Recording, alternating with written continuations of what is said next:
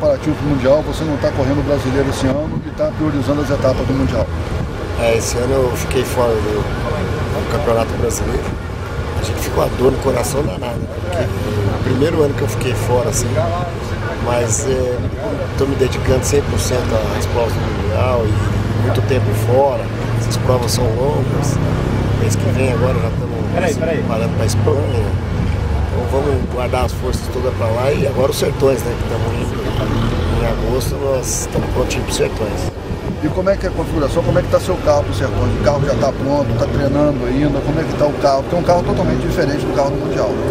É, o carro não está pronto ainda, por isso que eu até que não vim andar aqui, porque senão eu ia andar aqui para testar o que estamos fazendo. Mas eu devo andar a próxima prova.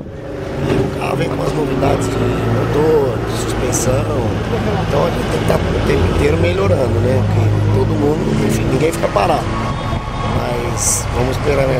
Mês que vem agora começamos os testes dele já. E quais são as principais diferenças dele para o carro do Mundial? O carro daqui é uma Triton, é um carro que foi feito para corrida. Então ele é tudo desenhado, a suspensão.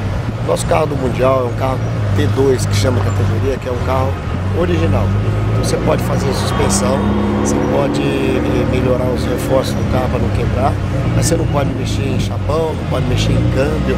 Então é um carro com motor originalzinho, igual tem de um. Mais difícil você competir, você que está acostumado a andar na ponta, como é que é isso aí? Você vendo, você está numa prova com carros mais potentes passando por você, com carros com outra preparação.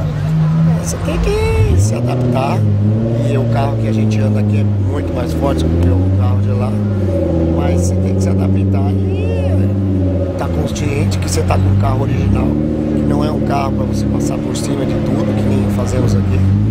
E com isso daí você vai tendo resultado. Se você chegar lá, ignorar os buracos, ignorar tudo, você não chega no final da prova.